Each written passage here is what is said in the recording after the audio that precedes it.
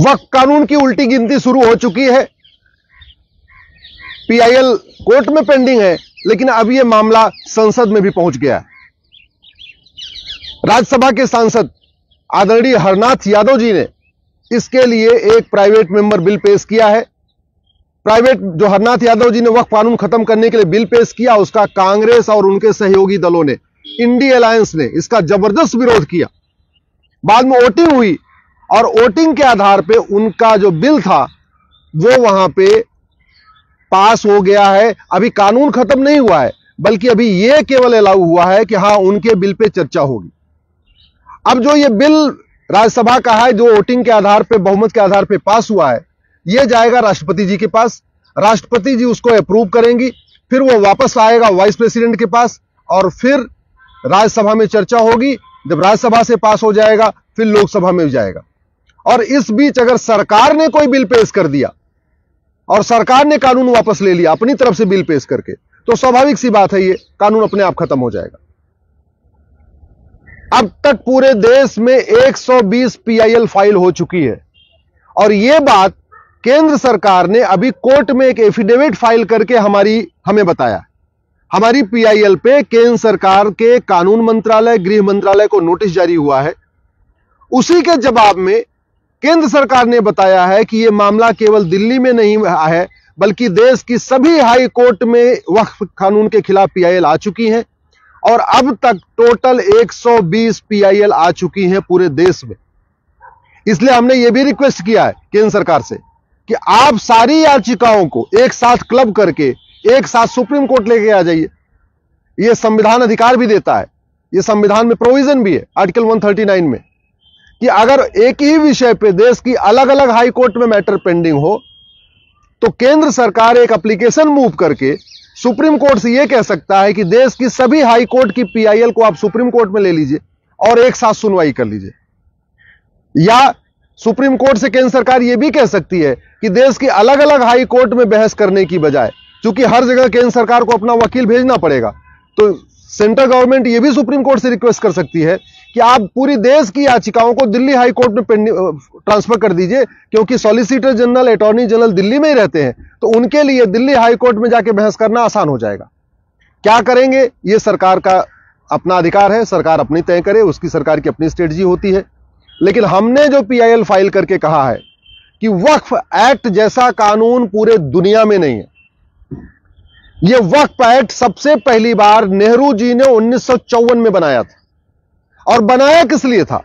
क्योंकि विभाजन के बाद बहुत सारे परिवार यहाँ से चले गए पाकिस्तान।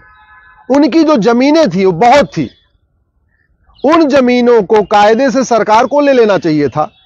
और जब पाकिस्तान से हिंदू आए तो उनको उन जमीनों पे बसा देना चाहिए था। क्योंकि जो पाकिस्तान से हिंदू आए, जो उनकी जमीनें वहाँ खाली पड़ी थी, जो भारत के मुस्लिम्स गए, उनको वहाँ बसा दिया गया। पाकिस्तान सरकार ने यही काम किया कि जो लोग हिंदू अपनी ज़मीन वहाँ से छोड़ के आए थे, वो जो उनकी जमीनें खाली पड़ी थी, उसको सबसे पहले क्या किया कि जो भारत के मुस्लिम्स गए थे, उनको बसा दिया। इसके अलावा जो और भी जमीनें पड़ी थी, उसको सरकार ने खुद ले लिया या आसपास के उस पर हॉस्पिटल बना दिया, कुछ और काम कर दिया। यही काम नेहरू जी को करना चाहिए था कि जितने लोग यहाँ से गए थे पाकिस्तान, उनकी सबकी जमीनों को एक्वायर कर लेना चाहिए था। जो लोग पाकिस्तान से हिंदू आए थे उनको उस पर बसा देना चाहिए था। और जो एक्स्ट्रा ज़मीन होती, उस पर अपना हॉस्पिटल बना सकते थे, स्कूल बना सकते थे, कॉलेज बना सकते थे, यूनिवर्सिटी बना सकते थे, पुलिस लाइन बना सकते थे, और भी जो गवर्नमेंट डिपार्टमेंट बना सकते। लेकिन नेहरू जी ने यह काम नहीं किया। नेहरू जी ने बाकायदा एक वह वक्फ बोर्ड स्टेब्लिश करा दिया, वक्फ कानून बना दिया, और वक्फ कानून बना के उन सारी जमीनों को वक्फ बोर्ड को दे दिया। यह कानून इतना खतरनाक है कि आज अगर वो सुप्रीम कोर्ट को कह दे ये सुप्रीम कोर्ट वक्फ की बोर्ड पे, वक्फ बोर्ड की ज़मीन पे बना हुआ है। तो सुप्रीम कोर्ट के रजिस्ट्रार उस नोटिफिकेशन को कोर्ट में नहीं चैलेंज कर सकते। सुप्रीम कोर्ट के रजिस्ट्रार को भी वक्फ बोर्ड के सामने जाना पड़ेगा। उस कानून को राजीव गांधी ने उन्नीस सौ चौरासी में और मज़बूत किया। ध्यान से समझिए। नेहरू जी ने उन्नीस में वक्फ बोर्ड बना, वक्फ कानून बनाया।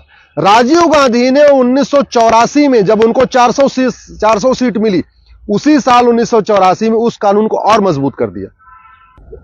उसके बाद उन्नीस सौ पंचानवे में नरसिम्हा राव की सरकार ने, जो नेहरू जी का कानून था और जिसको राजीव गांधी ने मज़बूत किया था, उस कानून को वापस लिया और और भी खतरनाक एक नया कानून बना दिया उन्नीस सौ पंचानवे में।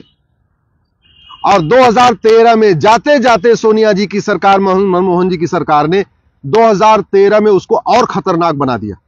ऐसा खतरनाक कानून बनाया है कि इलाहाबाद हाई कोर्ट को वक्फ बोर्ड ने बोला, ये हमारी ज़मीन है। और इलाहाबाद हाई कोर्ट उस नोटिफिकेशन को चैलेंज नहीं कर पाया। वक्फ बोर्ड से गिड़गिड़ाता रहा कि नहीं नहीं, ये तुम्हारी ज़मीन नहीं है, हमारी ज़मीन है। वक्फ बोर्ड नहीं माना। Allahabad high court supreme court आया। ध्यान से समझिए। इलाहाबाद हाई कोर्ट जो सबके मुकदमों का फैसला करता है, वो अपनी ज़मीन नहीं वक्फ बोर्ड से छुड़ा पाया। उसके लिए उसको सुप्रीम कोर्ट तक आना पड़ा। यह कानून है कांग्रेस का, जो सबसे पहले नेहरू जी ने बनाया, राजीव गांधी ने उसको और मज़बूत किया, नरसिम्हा राव ने उसको और मज़बूत कर दिया, और बाद में मनमोहन सिंह ने और मज़बूत किया यह कानून इतना खतरनाक है कि जो बड़े लोग हैं, पैसे वाले लोग हैं, उनको नोटिस भेजता है, और उसके बाद कहता है, दस लाख दो, बीस लाख दो, पचास लाख दो, तब हम नोटिस वापस लेंगे। यानी उनसे वसूली करता है। लेकिन जो गरीब है, शेड्यूल कास्ट हैं, शेड्यूल ट्राइब हैं, आदिवासी हैं उनको नोटिस भेज के कहता है कि अगर तुम इस्लाम कबूल कर लोगे, तब तुम्हें हम तुम्हारी ज़मीन तुम्हारे पास रहेगी और नहीं तो ये ज़मीन वक्त क्यों हो जाएगी। अब जो सोचिए आप, भोपाल से झबुआ 700 किलोमीटर दूर है। झबुआ एक आदिवासी क्षेत्र है। झबुआ के जो आदिवासी है, उन्होंने झबुआ की लोकल कोर्ट को भी कभी नहीं देखा। भोपाल तो देखना उनके लिए असंभव है। अब झबुआ में वक्फ बोर्ड एक नोटिस भेजता है और कहता है, ये ज़मीन वक्फ की है। आदिवासियों से कहता है, इसका जवाब देने तुम भोपाल आओ। अरे, जिन आदिवासियों ने झबुआ की लोकल कोर्ट नहीं देखी, वो भोपाल 700 किलोमीटर दूर कैसे आएँगे? और फिर कंडीशन क्या रखता है? अगर अपनी ज़मीन छुड़ानी है तो कन्वर्ट हो जाओ। मेरठ और मुजफ्फरनगर लखनऊ से 600 किलोमीटर दूर है। मेरठ और मुजफ्फरनगर की ज़मीन पे वक्फ बोर्ड कब्जा करता है। उसके लिए मेरठ मुजफ्फरनगर वालों को लखनऊ जाना पड़ता है, क्योंकि लोकल कोर्ट में उस नोटिस को चैलेंज ही नहीं कर सकते। अच्छा अगर किसी की प्राइवेट ज़मीन पे वक्फ बोर्ड कब्जा करता है तो लोग अपनी ज़मीन के लिए फिर भी लड़ते हैं।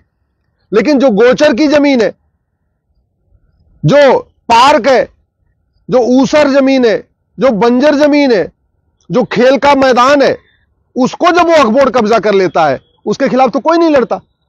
लेखपाल पटवारी के पास कहाँ इतना टाइम है और कहाँ इतना उनके पास पैसा है? सरकारी अधिकारी के पास, तहसीलदार के पास, कलेक्टर की जाके उससे 600 किलोमीटर दूर 700 किलोमीटर दूर लड़ते रहेंगे। नतीजा यह हुआ है, रेलवे और डिफेंस के बाद सबसे ज़्यादा प्रॉपर्टी का मालिक वक्फ बोर्ड बन चुका है। इस समय तीसरे नंबर की प्रॉपर्टी, इतनी जितनी प्रॉपर्टी वक्फ बोर्ड के पास है, इतनी प्रॉपर्टी तो मंदिरों के पास नहीं है। हिंदुस्तान में सबसे ज़्यादा बहुसंख्यक रहते हैं हिंदू।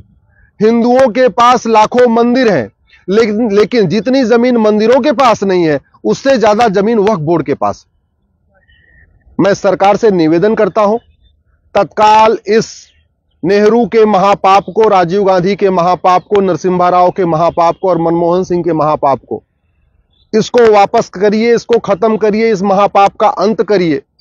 और जो जमीनें वक्फ बोर्ड के पास है 12 लाख एकड़ के आसपास, इन जमीनों को एक्वायर करिए वहाँ पे स्कूल बनाइए, कॉलेज बनाइए, इंजीनियरिंग कॉलेज बनाइए, मेडिकल कॉलेज बनाइए, लॉ कॉलेज बनाइए, पुलिस लाइन बनाइए, जो करना है करिए।